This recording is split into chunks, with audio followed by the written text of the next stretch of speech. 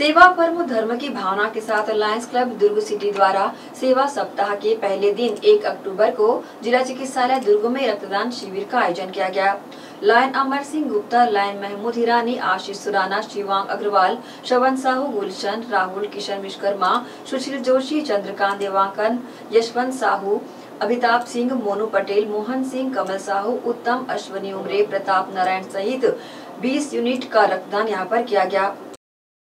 Lions club दुर्ग city के द्वारा सेवा सप्ताह के पहले दिन 1 अक्टूबर को जिला चिकित्सालय दुर्ग में रक्तदान शिविर का आयोजन किया गया। इसमें 20 यूनिट रक्तदान किया गया।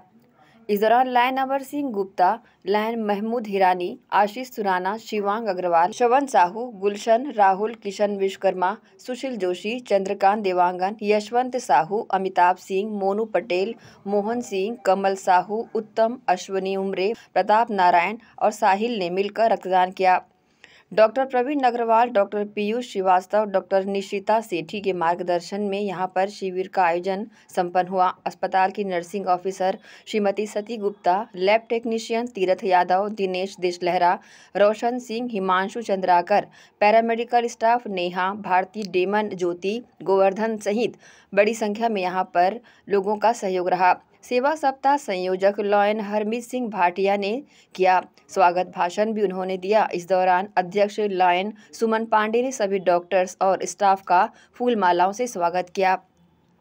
रक्तदान के दौरान एक ज़रूरतमंद व्यक्ति को रक्त की ज़रूरत पड़ने पर अध्यक्ष लॉयन सुमन पांडे ने उन्हें रक्त उपलब्ध कराया। इस कार्यक्रम में lion S P S Dulai lion Satish Chand Surana lion Raunak Jamal lion Suman Pandey Rashmi Agrawal सहित बड़ी संख्या में लोग शामिल रहे। सुमन पांडे जी ने हमको ब्लड दिलवाया। हमको ब्लड का बहुत आवश्यकता था इसलिए मैडम हम मैडम से हम विनती किए और मैडम हमारे पास में हमको ब्लड दिलवाए।